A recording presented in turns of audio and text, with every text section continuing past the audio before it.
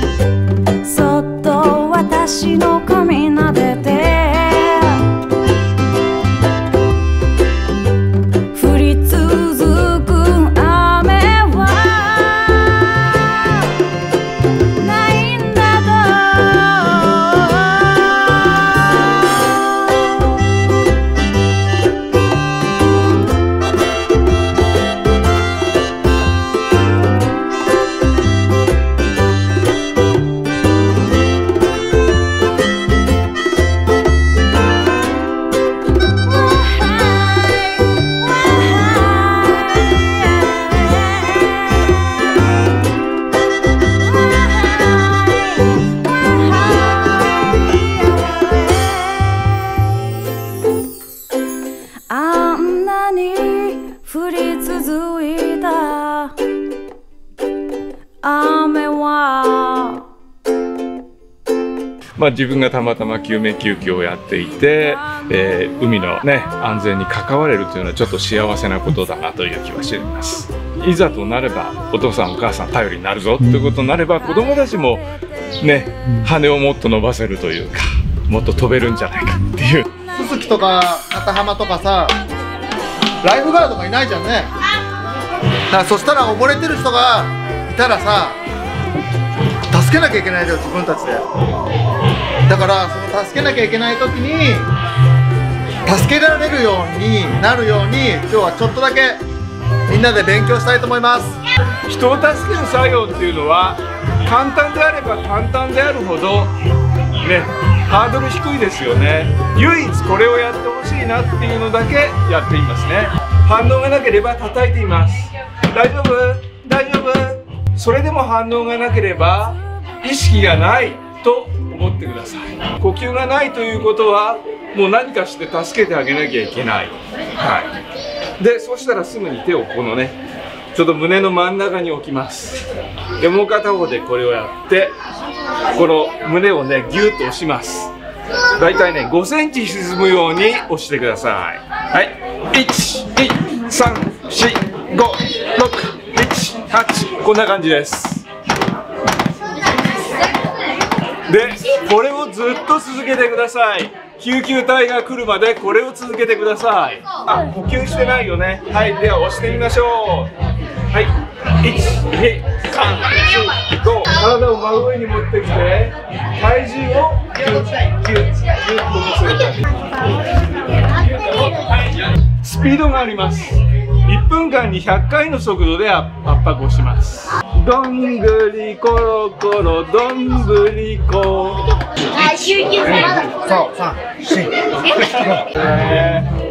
はいだ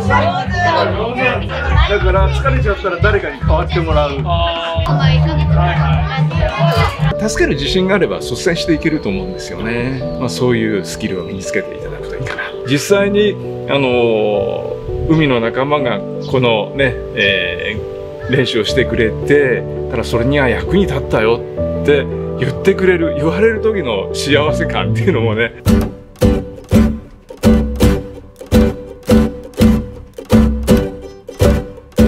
第3回。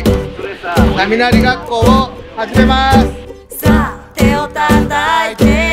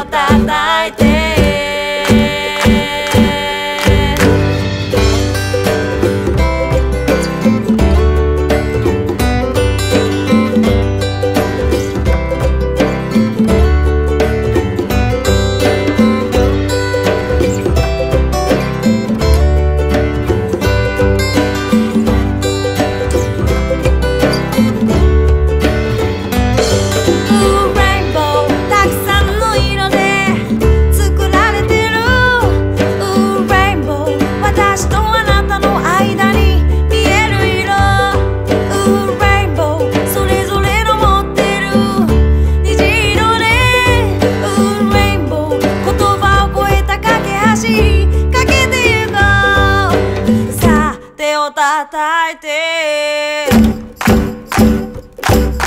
遠くまで聞こえるように。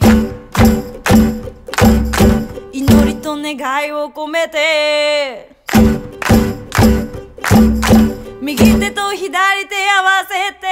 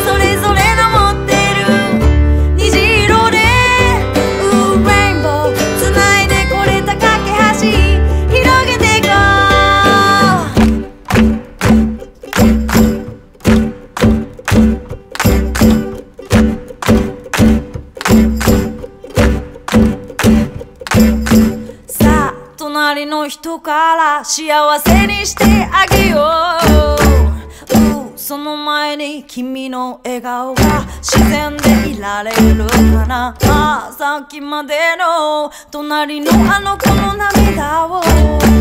ララララ